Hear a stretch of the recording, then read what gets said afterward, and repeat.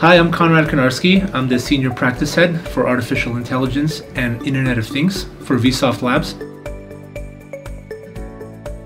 So within uh, the industrial manufacturing sector, uh, typical defect detection happens either through a manual operator that is looking at the object or through some sort of computer vision hardware that is capturing the image and then providing an enhanced view for that operator.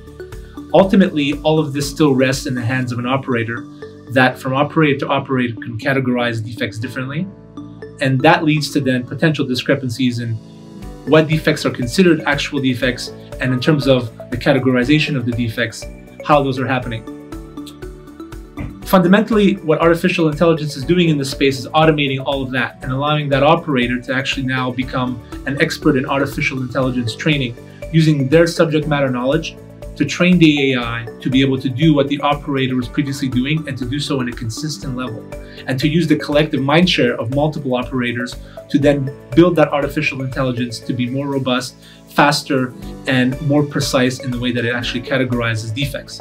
And those defects could look like something of a dent, a scratch, or they could be microscopic defects in the actual uh, product that is being manufactured.